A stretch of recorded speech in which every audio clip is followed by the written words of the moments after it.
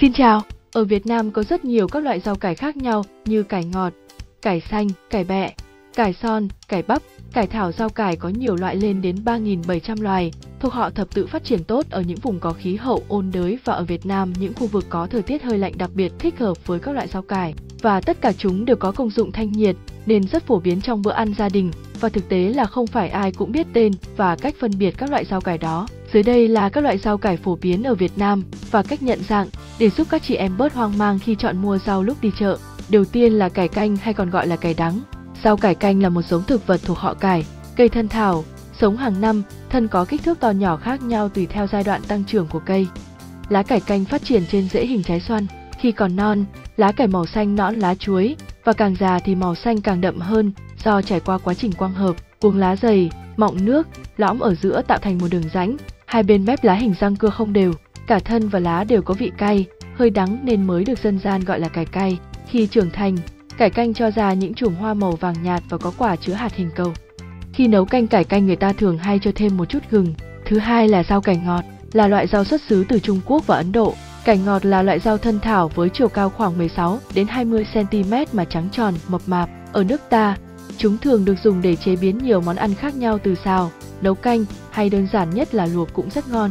Chính vì dễ chế biến lại có tính ôn hòa, chứa nhiều chất dinh dưỡng như canxi, lipid, protein, vitamin B1, nên chúng được dùng rộng rãi không những ở nước ta mà còn ở nhiều nước khác. Đây được xem là một trong những loại rau ăn lá họ cải dễ trồng và ít bị sâu bệnh tấn công nhất. Chúng có nhiều công dụng trị mụn nhọt nhanh chóng và hiệu quả, giúp bồi bổ cơ thể, tăng đề kháng, giải nhiệt nên được các chị em nội trợ ưa thích. Thứ ba là rau cải ngồng.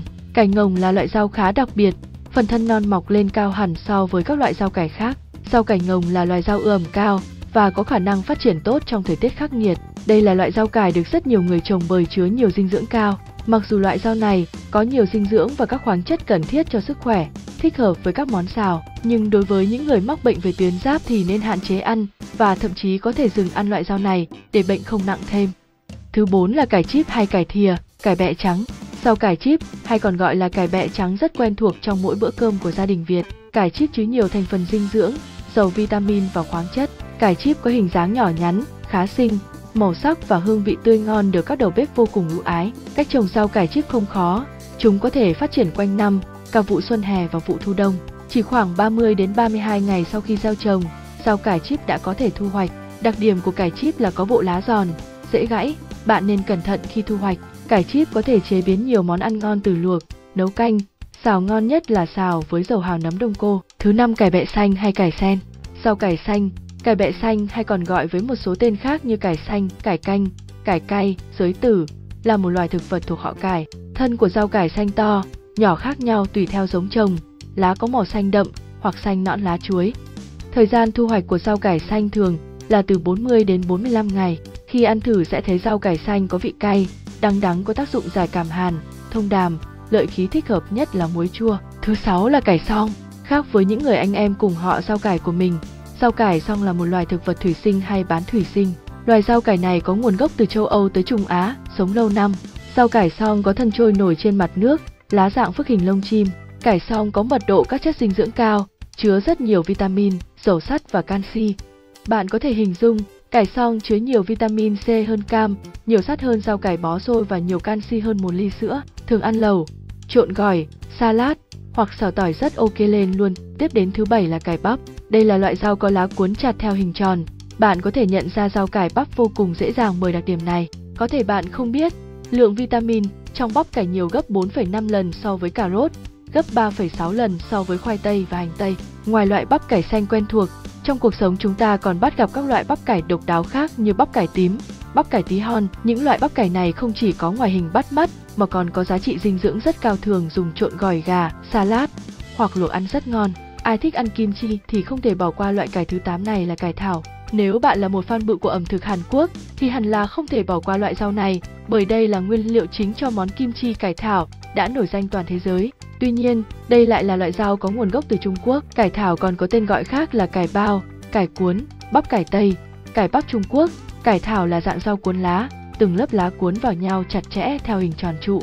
Cuống lá cải thảo to bản màu trắng, những lá bên ngoài có màu xanh đậm, càng vào trong lá càng nhạt dần thành xanh nhạt, màu vàng tươi. Ngoài chuyên dùng để làm kim chi thì rau cải thảo xào hay nhúng lẩu cũng rất ngon. Rau cải thảo có vị ngọt mát, thanh nhiệt, giàu vitamin như A, B, C.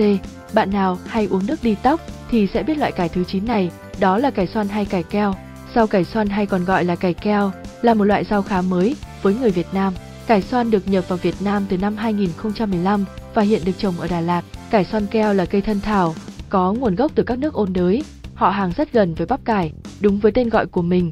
Cây có lá xoăn tít, màu xanh hoặc màu tím, thân trùng với màu của lá. Theo các chuyên gia, cải xoăn là một trong những nguồn thực phẩm lành mạnh nhất, chứa nhiều vitamin, khoáng chất, dưỡng chất thực vật, được mệnh danh là nữ hoàng rau xanh.